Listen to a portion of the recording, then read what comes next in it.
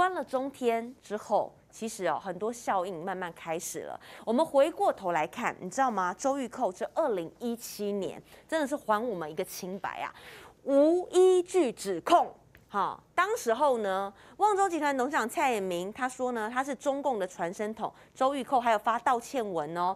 好，当时呢就有签了一个呃道歉的合约，就没想到呢，他当时候说不再对旺中发言啊，攻击性啊、恶意的言论啊，没想到他之后在节目又接受媒体采访的时候，继续讲加码再讲。到了二零二零年的时候呢，说中天在台湾就是红色媒体，中天背后就是共产党。各位，真相只有一个。从二零一七年，你们一起跟我们到现在，从电视台到 YouTube 频道，你们一定最相信，你们一定最看清楚，我们到底是一个什么样的媒体。恶意攻击蔡衍明，在我们提告之后呢，今天法院判了我们清白，周玉蔻要赔蔡衍明八十万，要赔中天。两百万，红薇姐，真的是你知道吗？我们的损失哦，虽然说还我们清白，但是伤害已经造成了，关了一个中天，你知道我们损失了五十亿呀。对，没有错。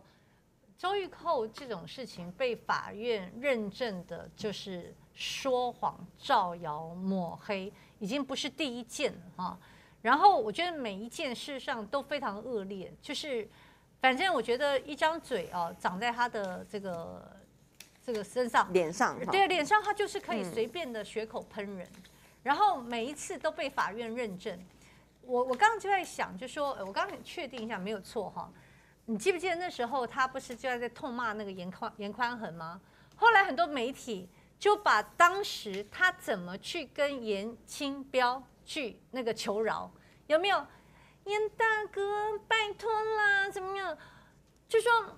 我我必须讲哦，其实讲到周玉蔻，我自己本身非常感慨哈，嗯，因为周玉蔻当过我的主管，因为有一次我在那个媒体上跟他吵起来，那他他就在讲说，我当主任的时候哈，你还不过是个小记者，你知道，很多人就讲说你周玉蔻倚老卖老，可是事实上这个是事实哈，就说当时我在刚出道的时候，周玉蔻确实是我的长官。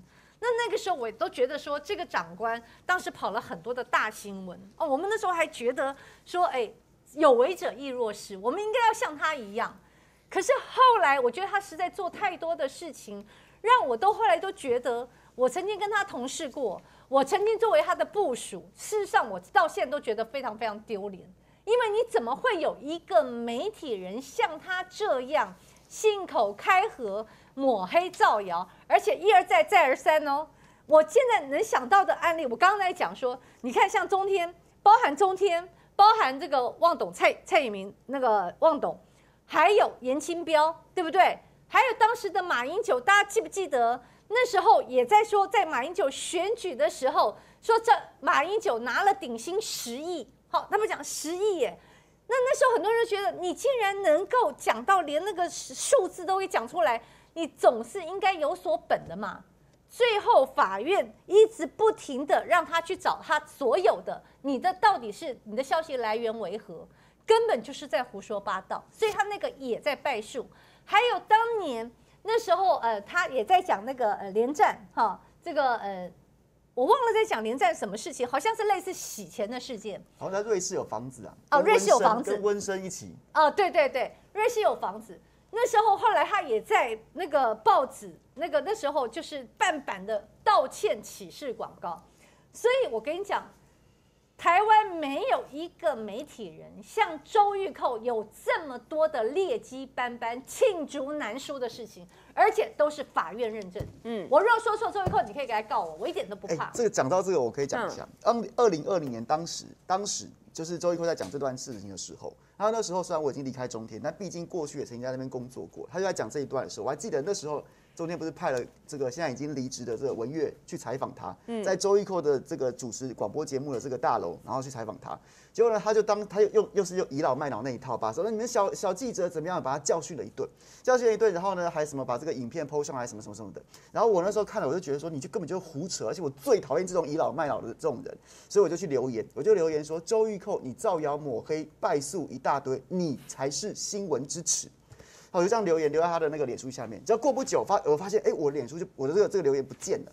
不见了。然后我我甚至就点不进周易扣的这个这个 Facebook，你被封锁了我。被封锁了，我被封锁了。然后再再过一阵子呢，我就收到了这个大安分局给我一张传票，一张传票，就是叫我去叫我去到案，说我这个妨害名誉。然后我去问了之后，就是周一扣因为这段话来告我，然后告我，然后呢我就去了，然后跟大家叫战守则，你就你就上网去查，讲周玉蔻造谣抹黑，就就我那句话，造谣抹黑败诉一大堆。跟新闻支持，前面这一段是事实面，是事实面，很好辩护，你就只要去列印所有的资料出来就可以了。像包括像刚刚洪薇姐哎，讲的。那，现在多了一个可以列印的，对，两千零四年什么跟温生一起说连战在在海外有房子啊，然后后来还有跟郭台铭的官司啊，什么三亿男呐、然后呢，对然后呢还有一大堆马英九的顶薪案，一大堆列出来，我就我记得那时候全部印出来都有这么厚，所以你就真的印了这些资料去举证。就这么厚，然后就这么厚，然后后面那一句新闻知识是评论，评论基本上你只要前面你能举得出你有所本，嗯。评论这这件事情大概就不会被告，大家就告不成。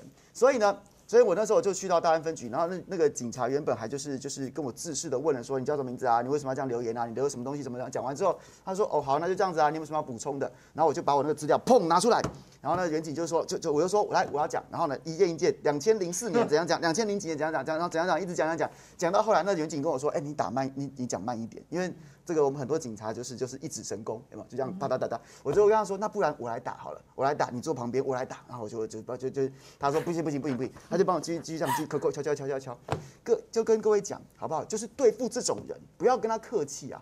很多很多我们在政治界或是媒体界的这个朋友都不想要评论他，是因为他有他觉得他好像就好像你走在路上被狗咬了，难道你要去咬狗吗？你要回去咬那只狗吗？很多人是抱持这样心态，所以不理你而已，好不好？不是说你很有道理，不是说大家都怕你，好吗？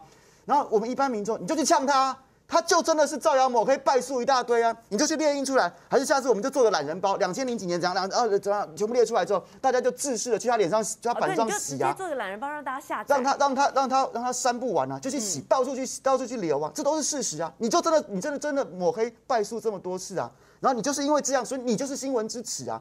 后来这个官司我做完一次笔录之后，我就问那个警察说：“哎、你还会再传吗？”他说：“嗯，应该不会再传了，应该不会再传。”后来我就收到，我就收到他撤告了，不起诉书，他直接撤告了，就是这样啊，跟他客气什么？他就真的是这种人呢、就是每天在他面前告诉他说：“你就是这种人，不要忘记自己是谁。”这样子，对不对？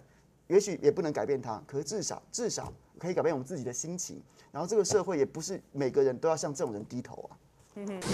脑力耗尽，需要睡眠，睡前三十分钟来一包梦梦水。放松心情，舒缓焦虑，帮助睡眠，让你睡得好，精神就好。充饱电再出发，辣气的推荐代码 CPI 五六七。还有主播出人物 CPI 四四四。